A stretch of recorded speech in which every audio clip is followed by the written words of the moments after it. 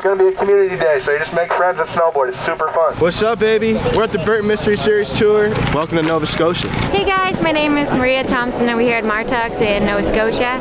We have a bank slalom uh, going. we're just getting ready we are, have all the riders hitting a jump right now and we have rippers at all ages. It's a super nice little hill with good vibes and all the shredders, like there's so many little kids and they're just all psyched on boarding. It's sick. Ah!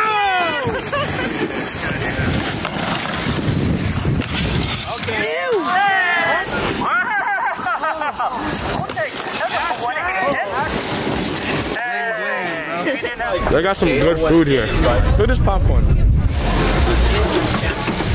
So Pro Skate started in 1986. Uh, it was founded by a family, the Craigs. Uh, they were basically doing some family trips down to the States and bringing back product to sell to local kids.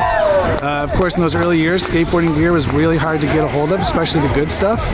Uh, so by having that available, it just kind of caught on and they provided a service for the community. In my younger days, having a demo tent or any kind of brand presence made the mountain feel a little more kind of connected. So when Burton shows up and they've got their demo tent, they've got some riders out here today, uh, they've got a bunch of staff, super friendly people helping, working with all the locals. Uh, it makes a big difference. It shows that they want to be involved and they're the brands you should support.